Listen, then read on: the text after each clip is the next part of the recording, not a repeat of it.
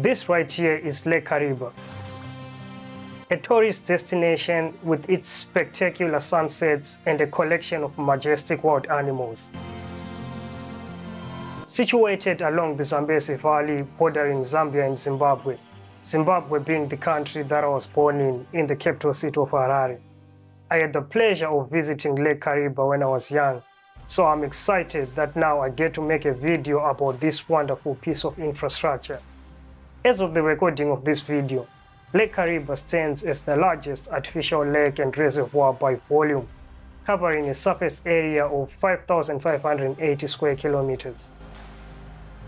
The dam is a double arch wall, meaning that it is curved in both the x-axis and the y-axis.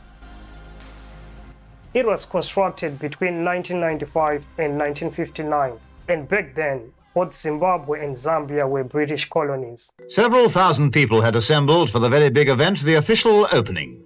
This was now about to be performed by Queen Elizabeth, the Queen Mother. The dam structure stands at 128 meters tall and spans a little over half a kilometer across the Kariba Gorge. The construction of the dam wasn't smooth sailing. In March of 1958, 10,000 cubic liters of water per second was coming over Victoria Falls, which is upstream of Lake Kariba. This led to the flooding of the central Coffer Dam during the construction.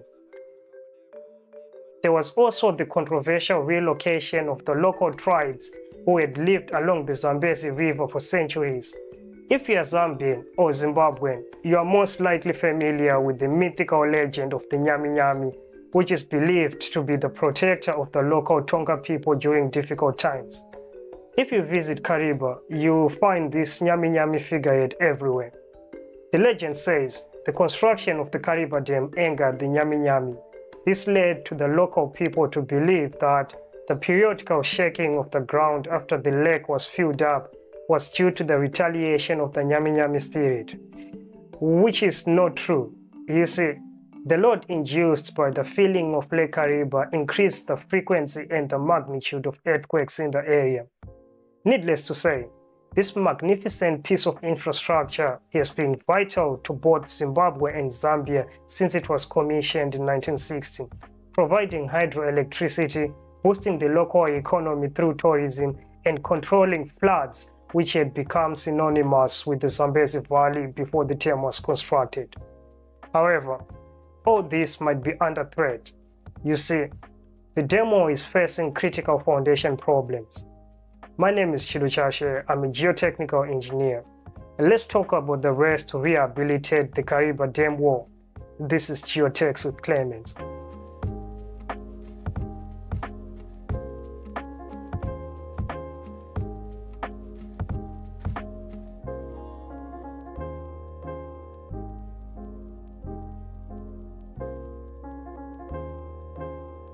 Kariba Dam Spillway is made of six sluice gates with a total discharge capacity of 9,000 cubic liters per second.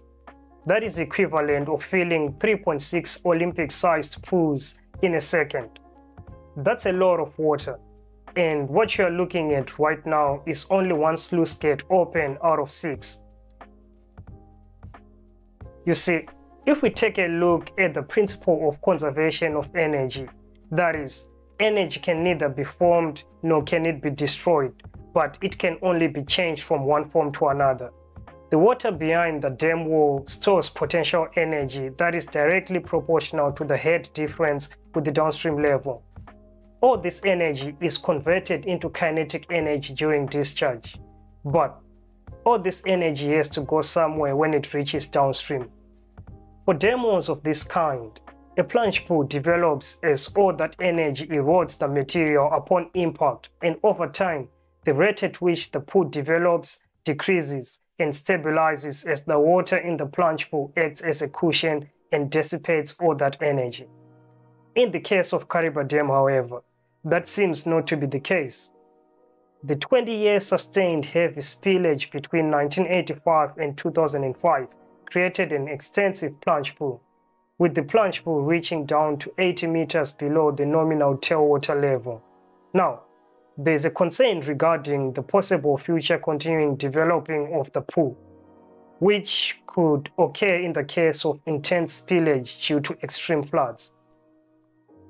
Plunge pool development of dam spillways has been widely discussed by many engineers, and many models have been developed to estimate the development of the plunge pool depth.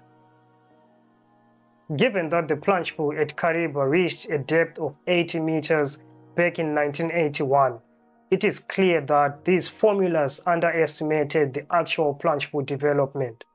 A revised formula was developed specifically for Kariba Dam that takes into account the duration of the discharge and therefore the spillage history.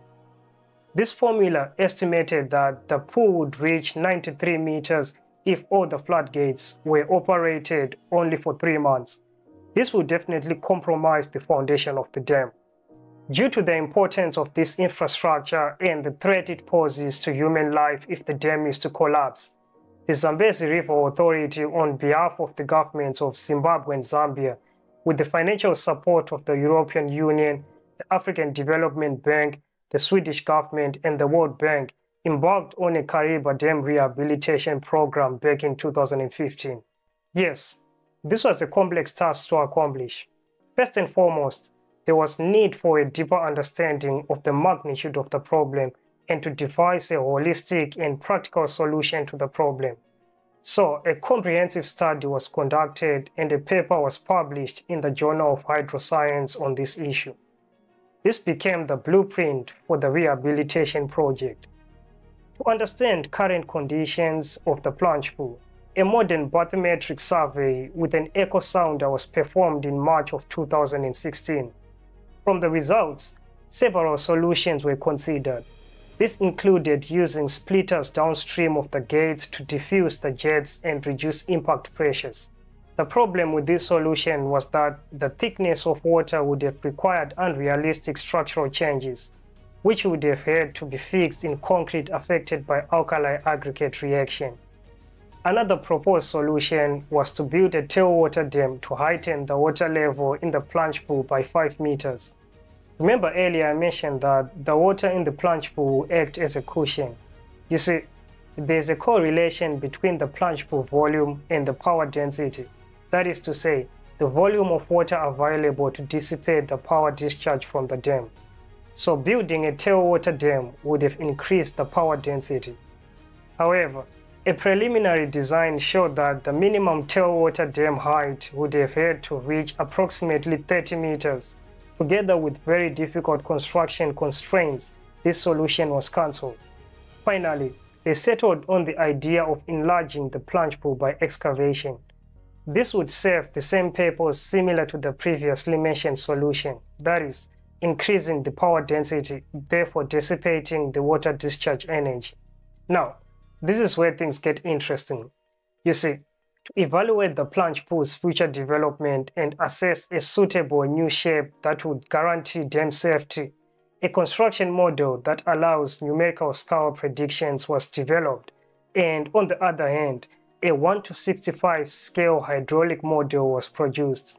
After the extensive research and testing, the optimum volume of rock to be excavated was 260,000 cubic meters, and the final geometry of the plunge pool was chosen to be concaved instead of convex on the left part of the plunge pool. This would provide enough room for water to dissipate downstream and in particular decrease the flow recirculation towards the dam foundation and at the bottom of the plunge pool. Put this theoretical solution into practice, a cofferdam was constructed downstream to hold back water produced by the power stations which were to stay fully operational during the works. This provided a dry area for drilling and blasting activities and the movement of trucks and construction machinery. The works to rehabilitate this monumental and historical infrastructure have recently been completed. We are here in order to see the completion of the important stage of the Kariba Dam rehabilitation project. It's amazing to see how this project brought different people from different countries together. There were representatives from Zambia, Zimbabwe, the European Union, the Swedish government, and the researchers from France. This means a lot to me, considering how important this dam is to the people of Zimbabwe. I've been your host Chido Chashe and you've been watching Geotechs with Clemency.